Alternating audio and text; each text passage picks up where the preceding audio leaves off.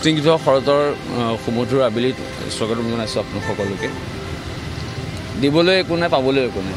জীৱনটো মাথো মৰিচিকাৰ দৰে বিচাৰি বিচাৰি ঘূৰি ফুৰা সময়তে আপুনি আৰু মই লগ হৈছিলোঁ আজি সন্ধিয়াত। খুব ধুনীয়া এটি মুহূৰ্ত। শুভাশীষ জনাব আপোনালোক সকলোৱে। মই শুভ্ৰজ্যোতি আৰম্ভ কৰিছোঁ এখন থলুৱা বিপণী। কিন্তু আমি এটা বৃত্তি বাছি লৈছোঁ যে আমি এইটো মঞ্চৰ ঘোষক বা ঘোষিকা হৈ পেলাই আমি জীৱনটো অতিবাহিত কৰিম। কিন্তু তেওঁলোকে ভুল কামটো ক'ত কৰিছে যে তেওঁলোকে প্ৰত্যেকটো বস্তুৱে মানুহৰ পৰা কাঢ়ি ল'ব বিচাৰিছে? নমস্কাৰ বৰ্তমান মই উপস্থিত আছোঁ যোৰহাটৰ মক্তব স্কুলৰ সমীপত আৰু আজি আমি আহি উপস্থিত হৈছোঁ এখন বিশেষ বিপণীত যিখন বিপণী আচলতে মুকলি কৰিছে যোৰহাট তথা অসমৰ এজন জনপ্ৰিয় ঘোষক মঞ্চ ঘোষক সুব্ৰত ফুকন ডাঙৰীয়াই। আমি পোনপ্ৰথমেই ইয়াৰ সমগ্ৰ দৃশ্য দেখাবলৈ চেষ্টা কৰিম। ইয়াতে এখন সৰু বিপণী তেখেতে খুলিছে আৰম্ভ কৰিছে। আৰু বিপণীখনৰ নাম ৰাখিছে মই অসমীয়া অসমীয়াগিৰি দেখুৱাইছে তেওঁ যোৰহাটৰ ৰাজপথত আৰু এই বিপণীখনৰ যোগেদিয়ে উদাত্ত কণ্ঠেৰে তেওঁ আচলতে সমগ্ৰ অসমবাসীক জনাব বিচাৰিছে যে মই অসমীয়া। আৰু এই পোনপ্ৰথমেই দেখাবলৈ চেষ্টা কৰিম। ইয়াত আচলতে গাহৰিৰ লগতে তেওঁ বিভিন্ন ধৰণৰ সামগ্ৰী ৰাখিছে গ্ৰাহকসকলৰ বাবে। তেওঁ পূৰ্বৰে পৰা এই ব্যৱসায়ত আচলতে জড়িত কিন্তু পুনৰ নতুনকৈ ব্যৱসায় আৰম্ভ কৰিছে। আমি তেখেতৰ লগত কথা পাতিবলৈ চেষ্টা কৰিম কিদৰে তেওঁ আৰম্ভ কৰিছিলে এই যাত্ৰা আৰু কিদৰে তেওঁ এই যাত্ৰাত সফলতা লাভ কৰিছে বা তেওঁ সন্তুষ্টি কি ধৰণৰ। যাত্ৰা আৰম্ভণি ঠিক মই যদি কওঁ আপোনাক ঠিক আজি একচুৱেলি আমাৰ এইটো তৃতীয় বৰ্ষ হয় দুহেজাৰ তেইছ আৰু চৌবিছ বৰ্ষৰ আমাৰ যিটো এটা ছিজনেল বিজনেছ হয় আমি ঠিক ঠাণ্ডা অহাৰ আগে আগে আমি ব্যৱসায়টো আৰম্ভ কৰোঁ। আৰু যাত্ৰা আৰম্ভণি মানে কি মোৰ যাত্ৰা আৰম্ভণি প্ৰথম হৈছিলে বঙালপুখুৰী তিনিআলিৰ পৰা। য'ত মোৰ নিজৰ ঘৰ হয় বঙালপুখুৰীতে গতিকে মই সেই সময়ত মানে কি হ'ল এদিন মই এক কেজি গাহৰি মাংস খাবলৈ আনিছিলোঁ প্ৰকৃত একদম একেবাৰে ৰিয়েলিষ্টিক কথাটো মই কোনো মিডিয়াৰ আগত আজিলৈকে নাই কোৱা আপোনাৰ আপোনাৰ আগত ফাৰ্ষ্ট টাইম শ্বেয়াৰ কৰিছোঁ যে মই এক কেজি গাহৰি মাংস খাবলৈ আনিছিলোঁ কিন্তু সেই দিনটোত মোৰ ঘৰত ব্ৰত আছিলে। তো মাংস কেজি মোৰ পেলাই দিবলৈ মন নগ'ল। নগৈ পেলাই মই হঠাৎ মোৰ কাষত থকা মোৰ এখন দোকানো আছিলে তাতে পাচলিৰ দোকানখনো আছিলে।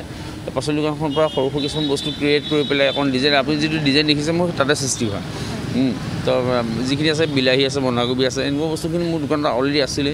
মই বাঁহৰ কেইডালমান সলাই বনাই পেলাই মই সজাই পেলাই চাইছিলোঁ। বিক্ৰী হয়নে বা বিক্ৰী হ'বনে? এক কেজি মাংসটো মই অলৰেডি পেলাবই লাগিব কাৰণ মোৰ ঘৰত কোনেও নাখায় বা ময়ো নাখাওঁ। সেইদিনটোত মোৰ ব্ৰত আছিল। কিন্তু মই চিন্তা কৰি চালোঁ যে তাৰপিছত কি মোৰ কাষত এজন মিচিং যুৱক আছিলে মানে কি তেওঁ মোৰ দোকানত অকণ সহায় কৰি দিয়ে। মাজুলীৰ ল'ৰা আছিলে। সি মোক ক'লে যে ককাইদেউ তই কি কৰিছ? কি চিন্তা কৰিছ? মই তো অকণমান তোৰ তহঁতৰ ঘৰত যে এই চাংখন যে থাকে কেনেকৈ বনাই মোক অকণমান আইডিয়া দিবি বোলে এনেকৈ এনেকৈ মাটি দি লেপিব পাৰে গোবৰ মাটি দি বুলি লেপি পেলাই মই বাঁহ চাহ আছিলে কি কি কৰিবলৈ প্ৰথম দিনাখন যেতিয়া মই এক কেজি মাংস উলিয়াই দিলোঁ সন্ধিয়া ঠিক সাত বাজিবলৈ নাপালে আৰু দুই কেজি মাংস মই আকৌ আনিবলগীয়া হ'ল। তো প্ৰথম ষ্টাৰ্টিং বঙালপুখুৰী তিনিআলিতে হৈছিল। চাওক মই কথাটো এনেকুৱা হয় এংকৰিংটো কৰাৰ যিটো আপুনি কথা কৈছে একচুৱেলি মই লাহে লাহে এৰা নাই কিন্তু মই সেই মোৰ ষ্টেণ্ডাৰ্ডৰ মঞ্চ কিছুমান নাইকিয়া হ'ল।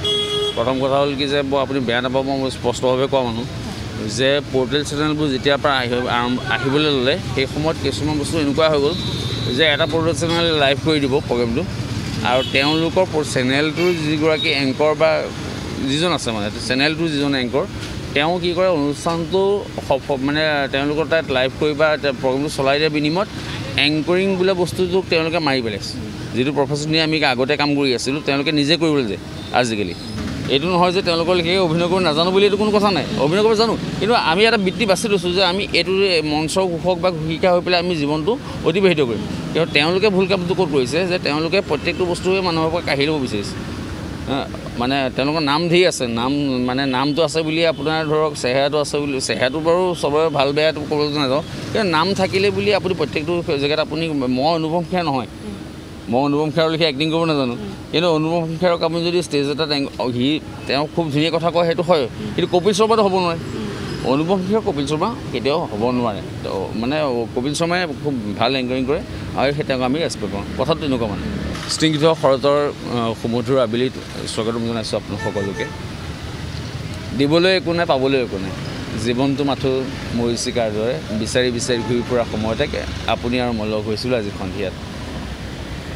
খুব ধুনীয়া এটি মুহূৰ্ত। শুভাশীষ জনাব আপোনালোক সকলোৱে। মই শুভ্ৰজ্যোতি। আৰম্ভ কৰিছোঁ এখন থলুৱা বিপণী। যাৰ নাম দিছোঁ মই অসমীয়া। অসমীয়া প্ৰত্যেকজনৰ হৃদয়ৰ পৰা মৰম বিচাৰিছোঁ। ভাল লাগিব যদি যোৰহতীয়া ৰাইজৰ পৰা মৰম আৰু চেনেহবোৰ পাওঁ। আশা ৰাখিছোঁ প্ৰত্যেকজন অসমীয়া ৰাইজে থলুৱা খাদ্যৰ সোৱাদ লৈ মই অসমীয়া কাষলৈ আগবাঢ়ি আহিছোঁ। অঁ খুব ভাল। এইটো মই তাতকৈ মানে আৰু অকণমান বেছিহে ফূৰ্তি মানে মঞ্চত মানে কি হয় মই ফিডবেকটো নাপাওঁ। বুজি পাইছেনে? মঞ্চৰ ফিডবেকটো নাপাওঁ মানে কি হয় মঞ্চৰ ফিডবেকটো ধৰক আপুনি ৰাস্তা পদূলিয়ে পালে এতিয়া ধৰক আপুনি মোক ক'লে মঞ্চৰ সুবুজটি ফুকন বুলি কৈছে। তো মই মই সেই ফিডবেকটো মানে কেনেকৈ পাওঁ এই ধৰক ৰাস্তাটো চবতে ভালে আছেনে? হা একদম নেক্সট কোনোবাই দাদা কালি অডিশ্যন চাই ভাল দিছিলি। অকণমান দেৰি হয়। ইয়াত মানে লগালগ। লগালগ। একদম মানে আপুনি ওৱান খালে দাদা ভাল এইটোত মানে একদম মই আৰু বেছি হেপী মানে। একদম লগালগ কুইক কুইকলি মানে ৰিপ্লাইটো পোৱা যায় ইয়াতে। হয়। এতিয়া ইয়াৰ মই যদি ৰেটখিনি অঁ ইয়াতে মানে কথাটো হ'ল শুনক মই আপোনাক জনাব বিচাৰিছিলোঁ ৰেটটো মানে অকণ ফ্লাকচুৱেট হয় বজাৰৰ ওপৰত আমি নিৰ্ধাৰিত গতিকে বজাৰ যেতিয়া আপোনাৰ কেতিয়াবা দাম বাঢ়ে তো আমিও অকণমান দাম বঢ়াবলগীয়া হয়। আৰু যদি বজাৰ অকণমান ৰেটটো কমি থাকে তো বিশেষকৈ আজিকালি অকণমান কিছুমান বস্তুটো ফিক্সেই হোৱা লেখীয়া হ'ল। মই প্ৰথমতে আপোনাৰ গাহৰি মাংস সত্তৰ ষাঠি টকাত আৰম্ভ কৰিছোঁ। তো এতিয়াতো প্ৰায় নব্বৈ টকা মানে কৰিবলগীয়া হ'ল কাৰণ কেলৈ বজাৰত অকণ দামটো বাঢ়িলে ঠিক মুৰ্গীৰ দামো বাঢ়িলে আজি আজি বজাৰ কৰিবলৈ যাওঁতে মুৰ্গীৰ দামটো অকণ বেছিকৈ পাইছোঁ